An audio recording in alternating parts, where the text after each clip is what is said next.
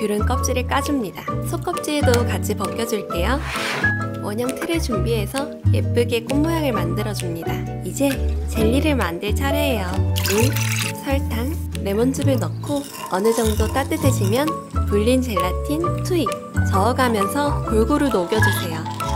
아까 준비해둔 원형 틀에 부어줄게요. 젤리를 조금씩 부으면서 원하는 만큼 귤을 추가해주세요. 이제 냉장고에 굳혀줍니다. 다 굳었으면 조심조심 틀을 빼주세요. 새콤달콤한 귤젤리 케이크 나왔습니다.